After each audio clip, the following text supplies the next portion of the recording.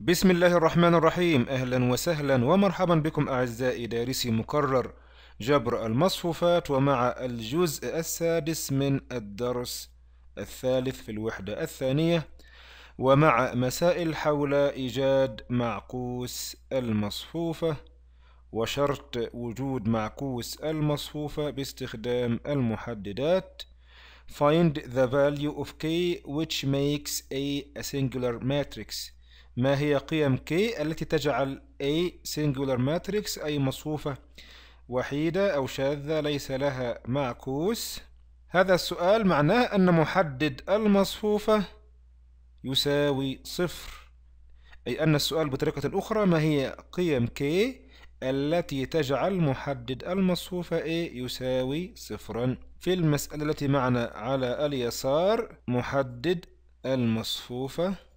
A يساوي؟ عناصر القطر الرئيسي k ناقص واحد في k ناقص اتنين ناقص حاصل ضرب عناصر القطر غير الرئيسي اتنين في ثلاثة بستة لابد أن هذا يساوي صفرا حتى يكون المصفوفة singular. أي ليس لها معكوس. نضرب k في k k تربيع طرفين في وسطين ناقص ثلاثة. K زائد اثنين ناقص ستة يساوي صفر. K تربيع ناقص ثلاثة k ناقص أربعة يساوي صفر. بالتحليل عددان حاصل ضربهما أربعة والفرق بينهما ثلاثة. هما أربعة في واحد الكبير سالب أربعة والصغير موجب واحد.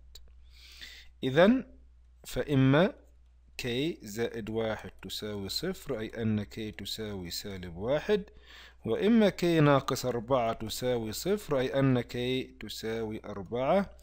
فمجموعة الحل التي تجعل هذه المصفوفة singular matrix كي تنتمي لمجموعة الحل سالب واحد وأربعة.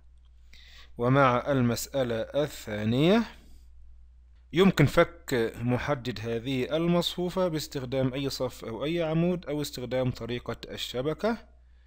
أنا سأحلها بفك هذا المحدد باستخدام الصف الأول. العنصر واحد كما تعلمون في قاعدة الإشارات. إشارته موجبة. واحد في المحدد الناتج عن حذف الصف والعمود الذي فيه واحد. يتبقى سالب واحد صفر اثنين كي الجزء ثلاثة. إشارته أيضا موجبة هذا العنصر المحدد الباقي. اثنين سالب واحد أربعة اثنين. نريد أن هذا يساوي صفرا أي أن سالب كي ناقص صفر زائد ثلاثة أربعة ناقص أربعة في سالب. يساوي صفر سالب كي زائد أربعة زائد أربعة ثمانية ثلاثة في ثمانية أربعة وعشرين. يساوي صفر أي أن كي يساوي أربعة وعشرين. أي أن القيمة التي تجعل هذه المصفوفة singular أي ليس لها معكوس هي موجب أربعة وعشرين.